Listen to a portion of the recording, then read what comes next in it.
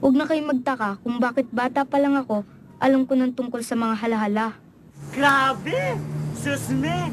Ang laki ng service ko kagabi. Sayang nga lang, kasi mas amoy lalaki pa ako kayo sa kanya.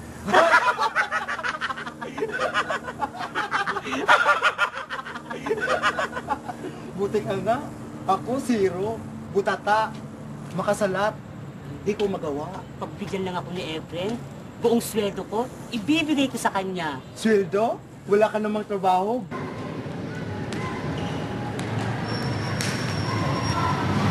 Di ko alam kung bakit ako naging ganito. Basta isang araw, pagising ko, ganito na ako. Yan si Efren. Kung may pantasya ng bayan, siya naman ang pinagkakaguluhan ng mga bading. Gwapo daw at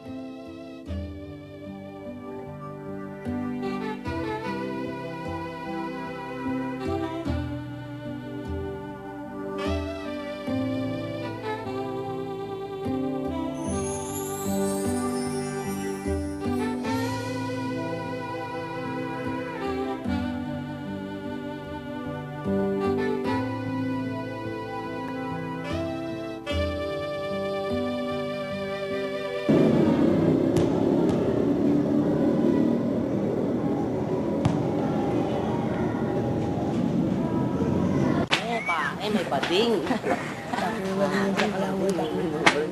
Baduy. Wala mo naglalaro ang baduy mo. Ay, si bading. simula noon, hindi ko kinalimutan ang bilin ni tatay. Kahit marami tukso sa paligid, kahit ang daming boys na umaaligid, kailangan ko maging manhid dahil Huwag kang gagawa ng bagay na maaari mong ikahiya. Yes! Halin muna kayo! Maganda ako ng merienda. Yan si Lolo Jack. Dapat lolang itatawag namin pero bilang respeto, lolo na lang. Nag-iisa sa bahayan. Walang kasama. Minsan, nakikita namin may mga binatang umaakit sa bahay niya. Pero mga kamag-anak niya raw ang mga yon. Kamag-anak na puro lalaki at halos iisang edad.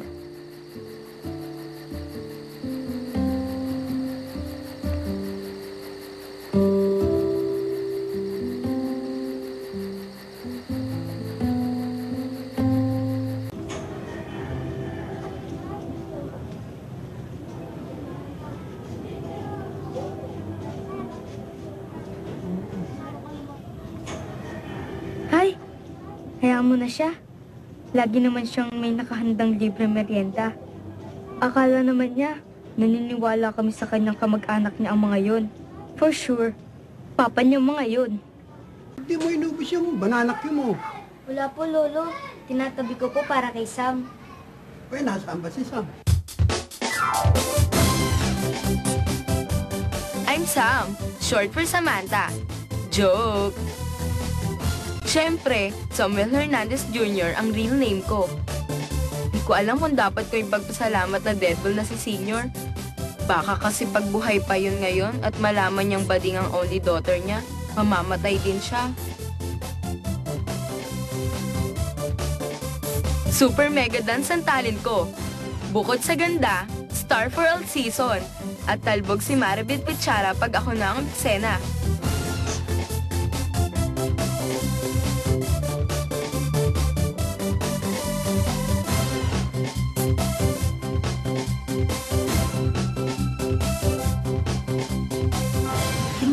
Maganda ng lola. Mas maganda pa po ako sa inyo. Naku ha? Kanino ka ba nagmana? Ah, Hindi talaga ni Lola. Siyempre, sa lola ka ba nagmana? Problema? Wala. Thanks to my Lola na lagi kong kasama. Oh. Only girl na apo kaya spoiled. Joke. Ang problema ko, di ko alam kung paano ko sasabihin sa kanya na buntis ako. Joke. Hindi kaya atakihin siya? Di pa nga ako nireregla. Kainis ang tagal. Hiwain ko kaya ang betlog ko para kunwari may dugo ako. Ah, Joke. Cute ng baba mo. Oh, ang tagal mo naman dumating, Sam. Halos patapos na silang kumain.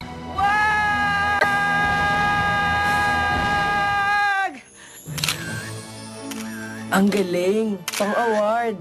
Pang Grand Slam. Sabihin na natin ako ang pinakamaarte. Ako naman ang pinakamaganda sa grupo. Si Jessie, si Miss Friendship yan. Mahinhin ng drama. Si Sam naman, Pia Moran ng makabagong panahon. Miss Talent. Super Dance. At ako, ako ang pinakamahadera. Pinaghalong Jean Garcia at Odette Can. May kipaglandian lang pag may libreng oras. Lalo na kapag nandyan yung dalawang friendship ko.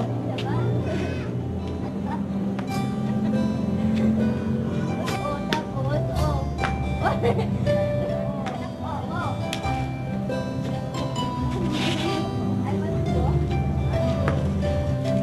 ko alam kung bakit kami nagkasundong tatlo. Simple ako. Malantod si Sam. Mataray si Pakito. Ah, alam ko na.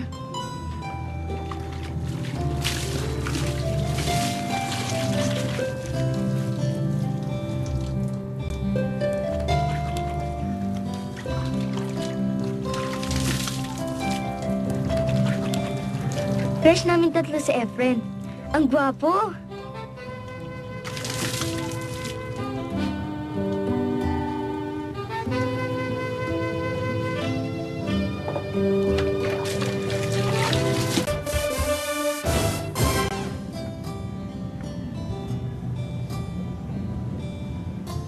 Ang boring ng buhay ni Jessie. Di katulad ko, kasing kulay ng sinabawang gulay na luto ng lola ko. Siguro nga, kaya ako naging bading dahil sa lola ko. Lahat yata ng kalandian na hindi niya nagawa noon sa akin niya balak ipatuloy. Sumayaw, humataw, yan ang drama ko. Dinadaan ko sa sayaw ang lahat. Ang importante naman sa akin, si Lola, yung mga kaibigan ko, si Efren. Sa iba, wala na akong pakialam. Hindi ka gumaya sa kuya mo. Matataas ang grades. Sikat pa sa basketball. Eh ikaw, puro indayog lang ang alam mo. Pasalamat ka't patay na ang tatay mo. Kung hindi, mamamatay uli sa'yo yon. Kita nyo, tama ako. Kung buhay pa si tatay, mamamatay din. Hay, yan naman madalas kong marinig eh. Nakakatulili na, pero wala akong choice. Minsan nga, inisip ko na sana, kapareho na lang ng tatay ni Jessie ang mami ko. Pareho na lang sana sila ng dialogue. Huwag kang gagawa ng bagay na maari mong ikahiya.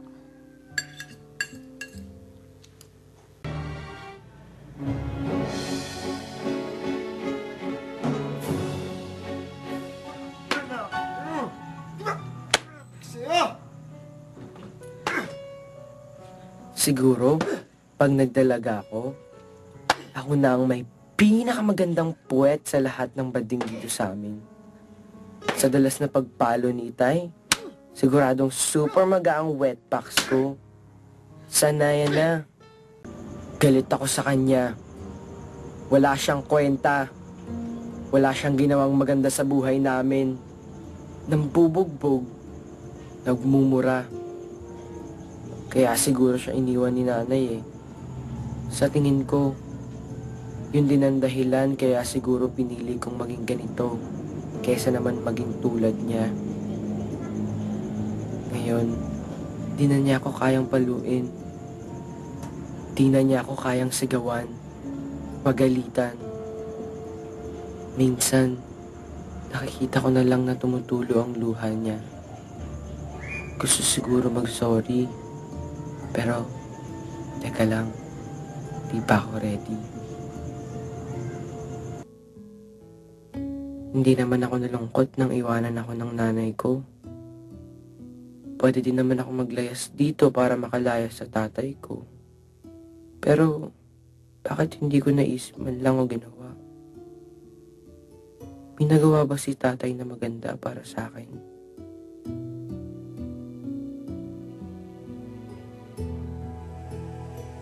Nang gabing yun, parang ang haba-haba ng pinag-usapan namin ni tatay. Wala akong naririnig pero ang dami-dami kong naramdaman. Yun ang pinakamahabang usapan namin ni tatay. At alam ko, may kasunod pa yun. Marami pa. Mas mahaba pa.